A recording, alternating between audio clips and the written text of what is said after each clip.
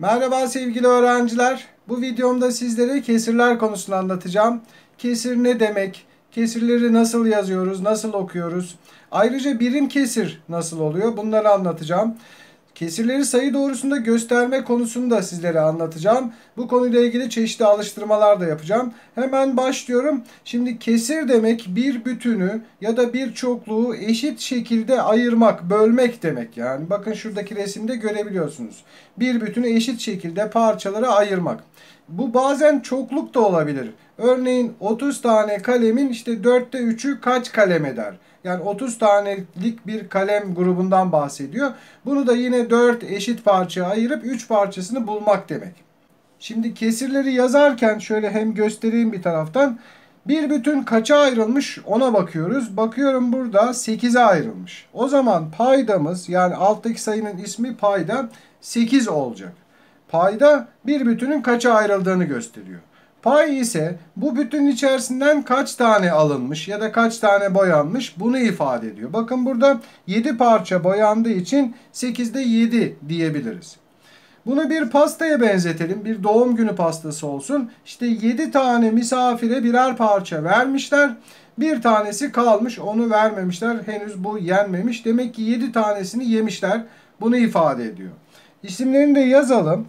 Bunun adı payda. Diğer üstteki pay. Ve aradaki çizgi kesir çizgisi diyoruz. Peki okunuşu nasıl? O da 8'de 7 diye okuyoruz. Okunuşu da böyle. Başka bir okunuşu da var. 7 bölü 8 diye de okunabilir. Bu da doğru. Bu şekilde de doğru. Bazen kitaplarda 7 bölü 8 diye okunuşunu da görebilirsiniz. Şimdi birim kesir nasıl oluyor? Buradaki parçalardan bir tanesine her birine birim kesir deniyor. Bakın şuradaki bu bölüm yani şurası birim kesir. Peki birim kesir ne demek? Kaçta kaç? Yani 8'de bir parça demek. E diğerleri birim kesir değil mi öğretmenim diye sorarsanız evet onlar da birim kesir.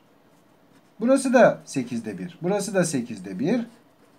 Burası da 8'de 1. Hepsini göstereyim. Yukarıya yazayım bir bölümünde. Burayı da bu şekilde gösterelim. Burası da böyle. Şimdi 8'de 7 kesrinin içerisinde kaç tane birim kesir var diye bir soru geldiğinde pay kısmından anlayabilirsiniz. Bakın 7 tane birim kesir var. Resim olduğunda zaten görebiliyoruz ama bazen kesirlerde resim verilmeyebilir. Örneğin bir örnek göstereyim. 10'da 5. Şimdi buradaki kesir içerisinde kaç tane birim kesir var? Bakın pay kısmından anlarsınız. 5 tane. Peki onda 5 kesrinin birim kesiri nasıl yazılır? Onda 1 olarak yazılır. Yani birim kesirlerde üstte 1 olmak zorunda. Şimdi kesirleri sayı doğrusuna nasıl gösteriyoruz? 8'de 7 kesirini gösterelim. Bakın bir bütün çizdim. Ben bunu şimdi paydaya bakacağım. 8'e ayıracağım. Payda da 8 var çünkü. Şöyle ayırıyorum. Bakın burada e, çizgileri değil sadece aradaki parçaları saymalısınız. Yani bazen öğrenciler e, çizgileri sayıyorlar. Böyle yapıyorlar. 1, 2, 3, 4, 5, 6, 7, 8, 9 tane çizgi var diye paydayı 9 zannediyorlar. Hayır çizgiler değil aradaki boşluklar sayılacak. Böyle parçalar yani 3, 4, 5, 6, 7 bakın 8 parça. Peki kaçıncı adıma gideceğiz? 7. adıma. O zaman da sıfırdan başlayıp yine sıfırı hesaba katmayacağız. Böyle attığımız adımları bir tavşan gibi hoplayarak ilerleyeceğiz. Bakın 3, 4, 5, 6 ve 7. İşte burası. 8'de 7 kesrinin yeri bu şekilde göstermiş olduk sayı doğrusunda. Şimdi diğer resimleri de ifade edelim. Bakın buradaki bütün kaça ayrılmış? 5'e ayrılmış. Payda 5 olacak. Kaç tane boyanmış? 3 tane. Ve bunun okunuşu 5'te 3 olacak. Diğeri 6'ya ayrılmış. 2 tane boyanmış. 6'da 2. Bu şekilde yazdık ve bu şekilde okuyoruz.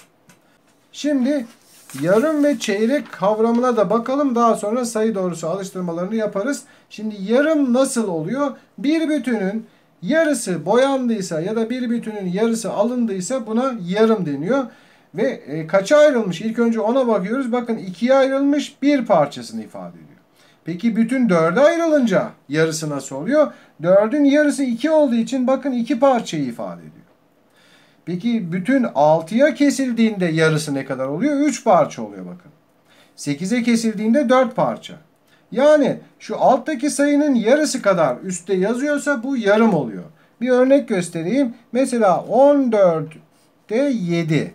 Bakın 14'ün yarısıdır 7. 2 tane 7 14 eder biliyorsunuz. Bu yarım oluyor.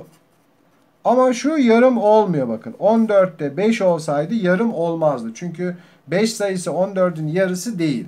Demek ki yarım olduğunu, bunu e, yarım olmadığı için çizdim üzerine. Yarım olduğunu şu alttaki sayının yarısı kadarsa buradan anlayabilirsiniz. Yani resim olmadığı zaman. Gelelim çeyreğe. Çeyrek demek bir bütünü dörde ayırmak demek ya da bir çokluğu dörde ayırmak ve bunlardan bir parçasını boyamak ya da bir parçasını almak demek. Dörtte bir. Peki sekiz parça olduğunda ne oluyor? O zaman da iki parçası alınıyor bakın. 12 parça olduğunda 3 tanesi boyanıyor. Yine çeyrek oluyor bakın. Bir bütünün çeyreği kadar oluyor. Peki bunu nasıl anlarız? Yani resim olmadığında. Örneğin 20 sayısının çeyreği kaçtır? O zaman ne yapıyoruz? Bütünü 4'e ayırıyoruz değil mi? 20'de 4 kaç tane var? 5 tane. 5 kere 4 20 ediyor. O zaman 20'nin çeyreği 5 tane oluyor. Yani şöyle olduğunda 20'de 5 olduğunda çeyrek oluyor. Ama 20'de mesela 8 olsa bu çeyrek olmuyor. Çünkü 20'nin çeyreği 8 değil.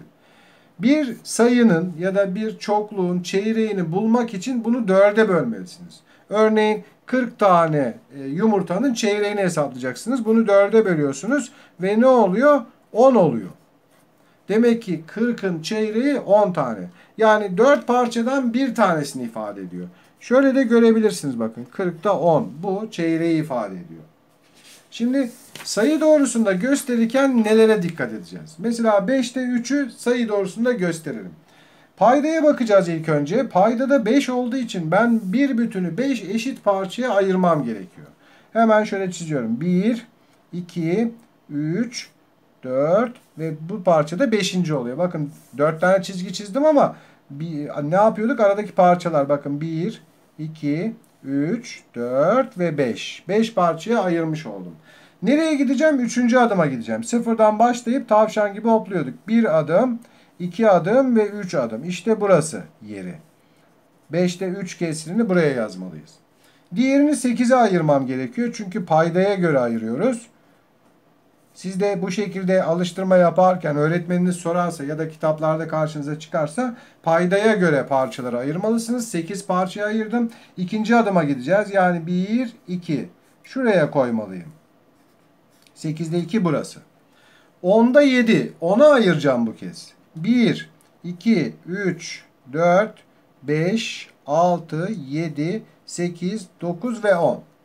Yedinci adıma gideceğim. Bakın 1, 2, 3, 4, 5, 6, 7. İşte 10'da 7 burası oluyor.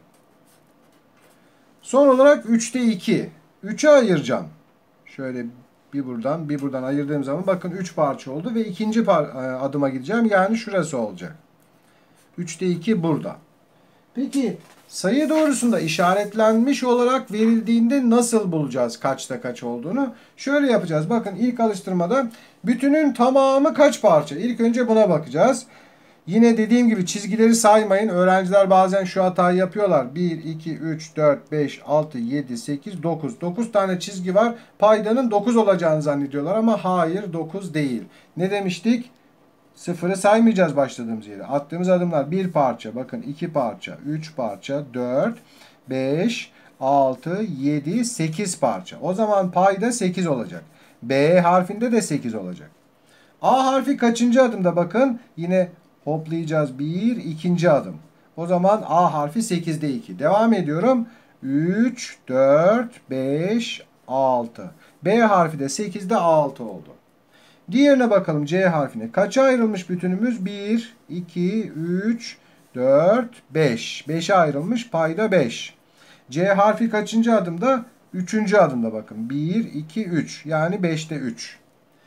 Diğer bütüne bakalım. 1, 2, 3, 4, 5, 6, 7, 8, 9, 10, 11, 12, 13, 14'e ayrılmış. O zaman Payda 14 olacak. Burada da 14 olacak. Burada da 14 olacak. D harfi bakıyorum 1, 2, 3. adımda. 14'te 3. E harfi devam ediyorum. 4, 5, 6. adımda. 7, 8, 9, 10, 11, 12. adımda. Bu şekilde yaptık. Son alıştırmamızı da yapalım. Kaça ayrılmış bütünümüz bakalım. 1, 2, 3, 4, 5, 6, 7, 8'e ayrılmış. Payda 8 olacak. G harfi birinci adımda. H harfi 2, 3, 4, 5, 6. adımda. 8'de 6. Umarım sizlere yararlı bir video olmuştur. Her zaman olduğu gibi iyi çalışmalar, dersinizde başarılar diliyorum. Başka derslerde görüşmek ümidiyle. Hoşçakalın.